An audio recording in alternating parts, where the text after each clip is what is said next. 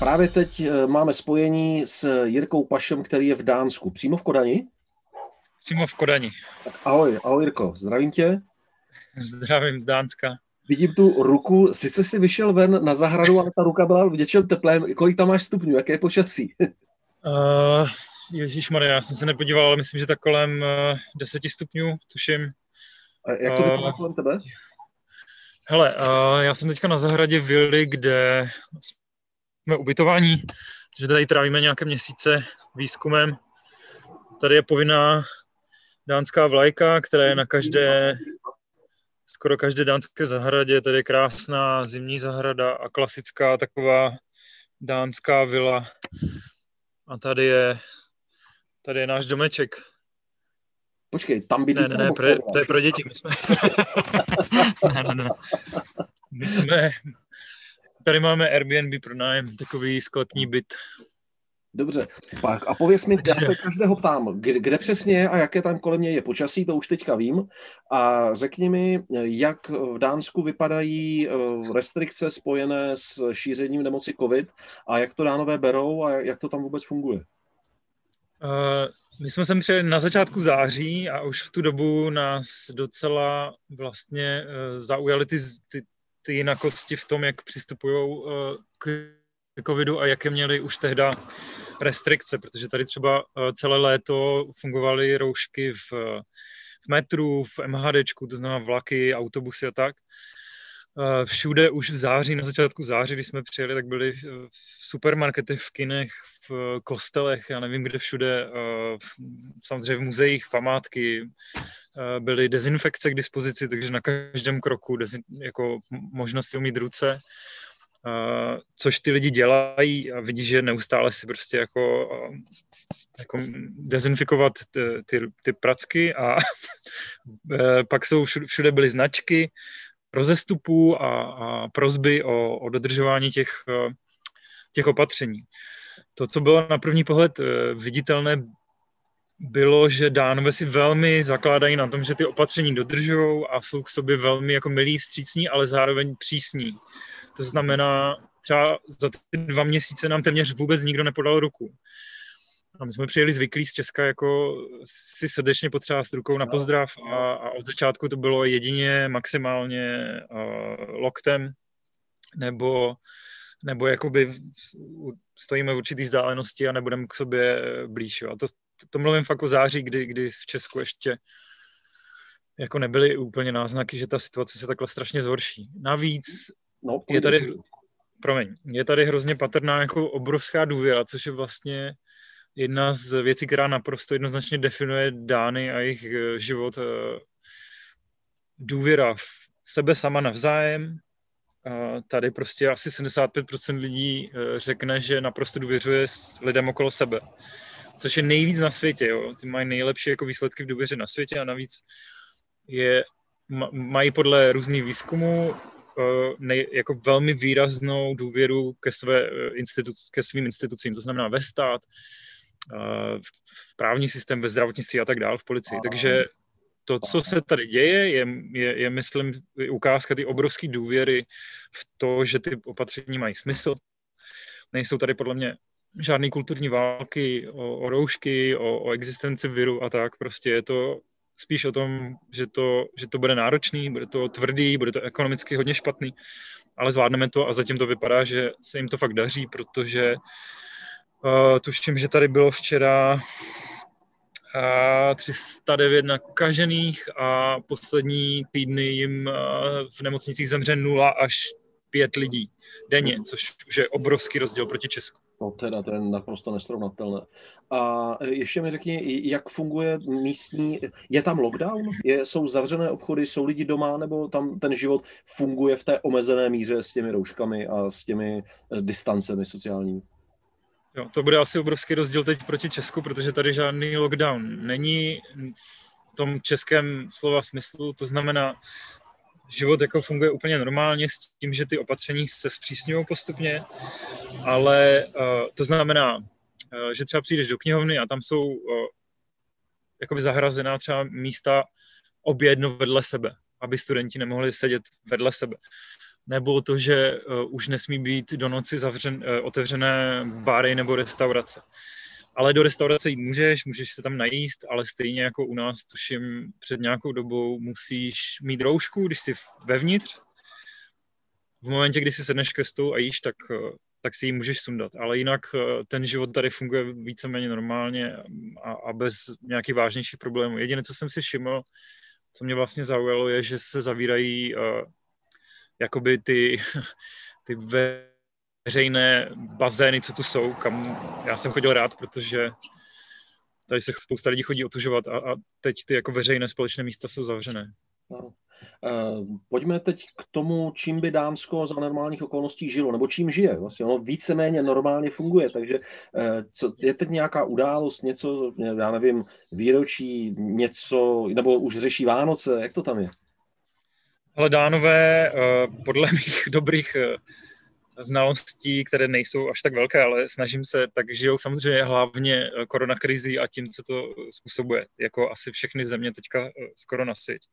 To je určitě velký téma, ale nicméně jako je spousta jiných věcí, kterými žijou a třeba jako asi zajímavý, že žijou eh, teďka několika v podstatě jako stovkama afér, který se hlásí k mýtu, Aha. Hrozně moc se tady řeší sexismus a mimo jiné dneska uh, byl článek v novinách, kdy asi tři stovky, jako vědkyně, po, eh, ženy z akademického prostředí popisují několik set případů uh, nějakého sexuálně nevyhodného chování, včetně jako znásilnění. Takže tady žijou tím uh, a nedávno vlastně tady byla obrovská afera, kdy jeden z hlavních takových jako dánských politiků, bývalý minister, eurokomisař, odstoupil, protože před deseti lety šáhl své kolegyni ze strany na stehno. A Ona s tím teďka přišla, nicméně to není eh, eh, jediný případ, protože pak se samozřejmě objevily další. Takže že tímhle, ale já jsem si pro tebe udělal takový výtah z, dnešních, z dnešního tisku a vybral jsem si pár takových jako zajímavých titulků, které mi přišly eh, nějakým způsobem zábavný nebo, nebo nějak zajímavý. Takže aby si viděl, že ty dánové žijou jako let s čím stejně jako všude jinde. Takže třeba jeden z nich řeší eh, proč a jak se surfuje na dánské Havaji, protože tady je místo, kde teďka vzhledem k té situaci jako jezdí víc a víc lidí surfovat, eh, nebo eh, jsem našel článek pět způsobů, jak udělat dobrý dojem dánskou domácností. Našel jsem taky článek, že Dánsko se chystá utratit 1,5 milionu norků, takže bude mnohem méně kožichu. Ptá se eh, jeden článek, jestli umlčel koronavirus populisty, což si myslím, že je hodně zajímavý téma. Řekl, Další... Ale to je na velkou debatu samozřejmě. V některých státech naopak, ale zdá se, že právě v Dánsku i ty politici táhnou mnohem víc za jeden pro vás, protože si uvědomují, jak náročná ta krize je. Takže v Dánsku se zdá, že ano. A mimo jiné jsem našel článek o tom, že eh, je nezvykle vysoká hladina Balckého moře, což samozřejmě ukazuje na to, že Tady třeba je obrovské téma klimatická změna a vzhledem k tomu, že Dánsko má obrovské vlastně rozložené na spoustě několik set ostrovech, tak musí tyhle věci mnohem víc řešit než my třeba. Ale, nebo tady byla nezvyklá vlna veder, což je další věc, kterou lidi tady, když se s nimi bavíme, přikládají ty klimatické změně, protože my vlastně za celé září a říjen jsme tady měli teplo a slunečno, což bylo fantastické, ale hodně nezvyklé. Jirko, můžu teď, když se z toho dotkl, řeší opravdu dánové klimatickou změnu? Mně přijde, že u nás to je takové jako téma, když to budu parafrázovat v úvozovkách, téma pražské kavárny. Když to, eh, když se to takhle objevuje i v novinách, řeší to dánové? Můj pocit je, že je to tady celospolečenský téma a že asi trošku jinak přijímaný než u nás, ne jako rozpor mezi tím, jestli něco takového existuje, jestli to je zaviněno lidmi nebo ne a jestli s tím budeme něco dělat, ale spíš jako, jako velmi vážná výzva uh, budoucnosti, na které je nutné se připravit. A hm, my jsme to zažili třeba na dvou takových ukázkách v muzeích, kdy jsme byli v takovým velkým významným muzeu moderního umění v Arhusu, který se jmenuje Aros. A tam je mimo jiné výstava Konec civilizací, No to, je, konec. to je veliké téma. Teď o tom dělám to, je, to mě zajímá. No, hned, jsem, hned jsem si na to vzpomněl, samozřejmě. A myslím si, že já si teďka asi pletu, nepamatuju si ten název přesně, ale je to počátky a konce civilizací. A tam ta výstava se věnovala tomu, jak v různých dobách se odrážely různé civilizační mýty v umění. A to bylo jako nesmírně zajímavé, protože samozřejmě ty, ty naše výklady toho, co se děje, jsou nesmírně důležité a nesmírně zajímavě zpracované různými jako významnými umělci různých dob, kdy tam byly samozřejmě věci jako ve středověku, bylo tam třeba jako část byla věnována náboženství a, a vlivu náboženství na, na ty mýty, ale samozřejmě část byla věnovaná třeba i uh, těm modernějším dějinám a byl, byla tam velká, byl tam se velký plátno, ze kterého řval Hitler. a uh, druhá výstava, kterou jsme takhle viděli, byla v, zase v Aarhusu v úžasném muzeu uh, historie, který se jmenuje Mousegard, což je taková unikátní architektura plus unikátní pohled do historie mm, uh, vesměs hlavně Dánska, ale do jako hodně vlastně i prehistorie. A tam byla výstava post-apokalypsa, což, která se věnovala různým uh, apokalyptickým událostem nebo jakoby velkým katastrofám, hlavně výbuchům sopek. A ukazovala ty následky jako takovým dobrým interaktivním způsobem a zase to bylo jakoby navázaný na, na klimatickou změnu a, a, a na to, že je to prostě jako, jako výstraha Dobře, dobře. Já Takže, nechci, abys mi tam témat. úplně zmrznul, jenom taková jako úplně jako komická odbočka. Ono je dobré, občas ten obraz jako digitálně poskočí, ale dobré je, že ty, když se zamyslíš, tak si tak podíváš do strany a jako stuhneš, já si vždycky řeknu, leknu se, a teď se nám to kouslo, a ty pak zase plynule pohledeš hlavou a navazuješ. To je taková zajímavá perlička, jak se to přirozené lidské chování spojuje s tou digitální deformací. Uh, Jirko, ty jsi úplně na začátku zmínil, uh, že tam uh, něco zkoumáš v Dánsku. Co tam zkoumáš? Čemu se věnuješ? Ale tady mám vlastně dvě věci, které eh, mě hodně zajímají a dělám rozhovory o duševním zdraví, což je hm, moje velký téma i v Česku. A eh, já tady mám nějaké známé a skrze ně se dostávám k lidem, kteří tady v Dánsku žijí s nějakou velmi těžkou duševní nemocí. Potkal jsem se takhle třeba s dvěma lidma, kteří mají paranoidní schizofrenii, což je velmi jako závažná diagnoza s obrovským vlivem na život. A vlastně u nás je to taková, jakoby, ta je v podstatě jako jedna z nejnáročnějších věcí jo? Na, na, na život. A já se tady potkám s lidmi, kteří eh, tady zvládají ten život úplně jinak i díky tomu, že ta dánská společnost je jinak nastavena. Včetně toho, že třeba ta jedna mladá holčina, která byla touhle nemocí diagnostikovaná eh, někdy v 14 letech, což je fakt jako hodně, hodně, hodně špatný, tak dneska, když je 24, tak eh, dostudovává na zdravotní sestru, což je u nás jako absolutně nepředstavitelný vzhledem k tomu, že lidi s paranoidní schizofrení jsou u nás považovaní za uh, vraždící jako maniaky. Mm-hmm. Což je absolutní nesmysl, ale, ale je to tak. A setkávám se taky s lidma, se kterými se bavím o dánském štěstí. Protože dánové uh, vycházejí ze spousty žebříčků jako nejlepší stát na světě v let's čemž. Jo? Třeba ve vnímání korupce, uh, už jsme mluvili o té důvěře, ale taky zásadně prostě se um, umistují posledních třeba deset let v, v různých žebříčcích mezi, mezi třema nejšťastnějšíma zeměma na světě, včetně toho jakoby prestižního indexu OSN. A já se tady snažím dozvědět se, proč to tak je, proč eh, tahle země je tak šťastná, a je, nebo jestli je tak šťastná, čím to je a, a co jsou třeba ty výzvy, které dánové i přesto řeší. Takže se bavím vlastně s Čechama, kteří tady žijou uh-huh, a ptám se jich, co si myslí o dánech a o jejich štěstí a pak se bavím s odborníkama, což jsou, což může být sociolog, psychiatr, expertka na duševní zdraví, nebo filo, filozof. Uh, snažím se sehnat různý, různý lidi, včetně toho uh, Mikea Vikinga, který napsal.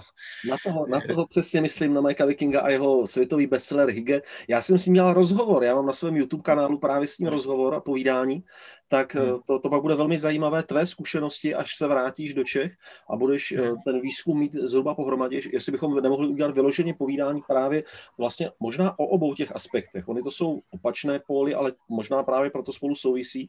Možná ta duševní porucha a možná ta schopnost vnímat a zažívat to životní štěstí, že to, že, že to jsou nějakým způsobem spojité nádoby. To je určitě, eh, to, to téma štěstí je vlastně, je vlastně extrémně fascinující, což vidím i na tom, že skoro s každým, jakmile zapředeš téma na ho, eh, hovor na tohle téma, tak se hrozně rychle chytne, protože se to každého týká osobně, ale očividně se to týká i celých komunit a celé naší společnosti. Že? Uh, včetně toho, že to...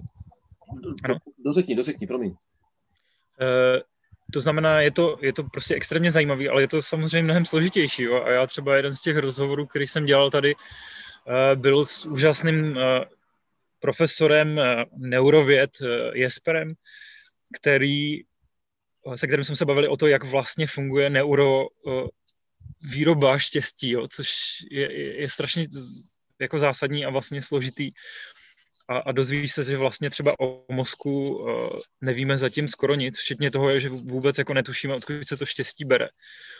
A samozřejmě, že se dostaneš k tomu, že je extrémně těžký ho definovat, co to vlastně je, jaký to jsou pocity, jestli jsou u všech lidí stejný, jak moc třeba jsou velký rozdíly mezi tím, uh, co cítí zvířata a lidi a tak. A to jsou prostě fascinující rozhovory.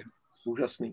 Úžasný. Já se omlouvám, že jsem ti skočil do řeči, jak tam je to malinkaté spoždění toho přenosu těch dat, tak já, když mám pocit, že vznikla mezera a začnu mluvit, tak vlastně tam jsme akorát tu vteřinu kousek od sebe. Já už to teď přeruším, protože ta rubrika, ten pořad pro ten eh, náš zlínský festival Neznámá země je o tom, jak se žije tady a teď a, a s každým se snažím vést opravdu těch 10-15 minut hovor, ale to téma mě nesmírně zajímá.